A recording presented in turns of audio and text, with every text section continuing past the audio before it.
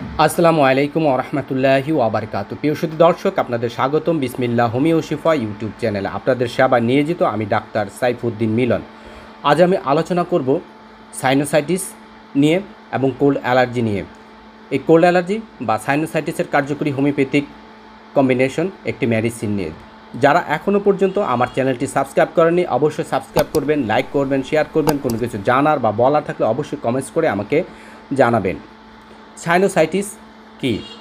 Sinusitis হচ্ছে আমাদের মাথার খুলির কপালে, নাকের এখানে এবং নাকের একটু নিচে কিছু ফাঁপা জায়গা আছে, যাকে সাইনাস বলা হয়। এই সাইনাসের অংশে যদি কোনো কারণ হেতু প্রদাহ হয়, তাকেই সাইনোসাইটিস বলা হয়।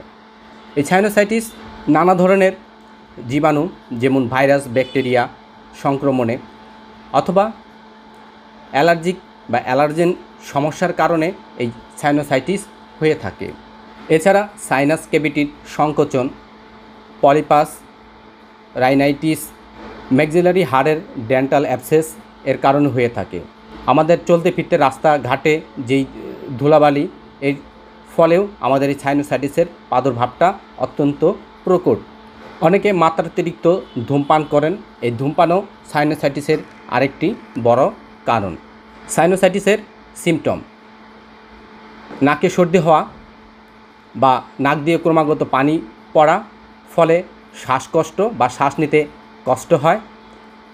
অনবরত হাঁচি, কারও গায়ে প্রচণ্ড জ্বর বা হালকা জ্বর সবসময় থাকে। বিশেষত ঠান্ডায় আক্রান্ত ব্যক্তি সাত দিনেও উপশম হয় না বা সুস্থ হয় না। ক্রমাগত তার ঠান্ডা অনবরত লেগেই থাকে।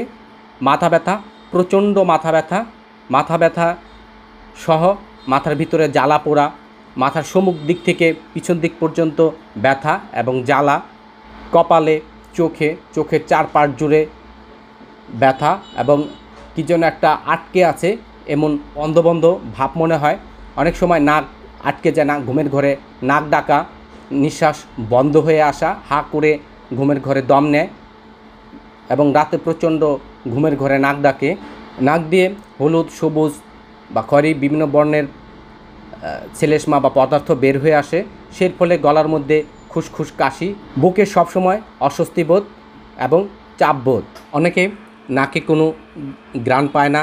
শিশুদের নাকে পলিপাস, তার নাকের স্বাদ, গন্ধ, ক্ষমতা কমে যাওয়া, সে কোনো কিছুর গ্রান পায় না। এটা ছোট এবং বড়, সবারই একই রকম সমস্যা হয়। প্যারানাসাল সাইনোসাইটিস, নাসাল ইনফেকশন এবং জীবাণুর বিরুদ্ধে কার্যকর ভূমিকা রাখার জন্য হোমিওপ্যাথিক জার্মানি মেডিসিন এডেল কোম্পানির রিকিউডা সাইনোসাইটিসে অত্যন্ত কার্যকরী কোল্ড অ্যালার্জি এবং এই সাইনোসাইটিসে রাইনাইটিস সাইনোসাইটিস, এই সাইনোসাইটিসে অত্যন্ত কার্যকরী জার্মানি অ্যাডেল কোম্পানির Recura Adel number twenty three, মেডিসিনটি অত্যন্ত কার্যকরী এবং জাদুকরী একটি মেডিসিন।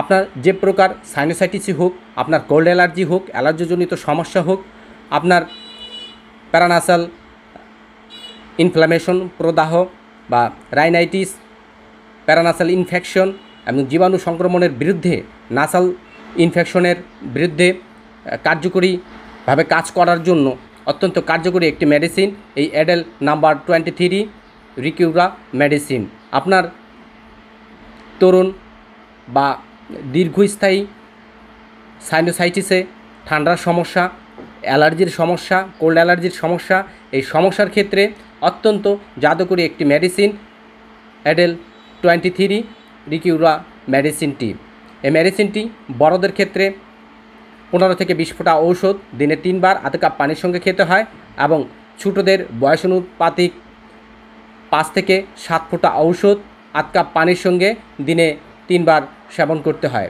তাহলে অতি শীঘ্রই আপনার যে প্রকারের সাইনোসাইটিস হোক সাইনোসাইটিস জনিত যে কোনো সমস্যা, মাথা ব্যথা, সর্দি, হাঁচি, কাশি, অনবরত পানি পড়া, মাথা ব্যথা, মাথা জ্বালা পোড়া এবং কোল অ্যালার্জির ক্ষেত্রে অত্যন্ত অব্যর্থ একটি হোমিও কম্বিনেশন ঔষধ।